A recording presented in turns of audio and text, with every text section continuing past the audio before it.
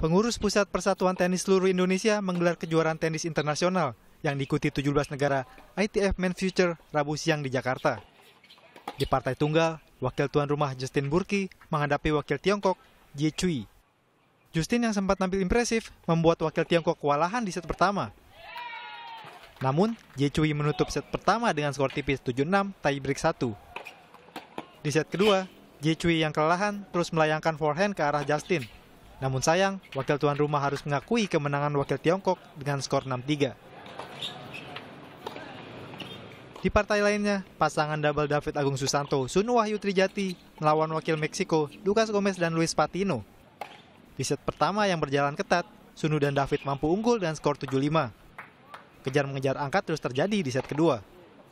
Akhirnya tim Indonesia berhasil meraih kemenangan 7-6 tiebreak 1 atas pasangan Meksiko. Tim Liputan Kompas TV, Jakarta.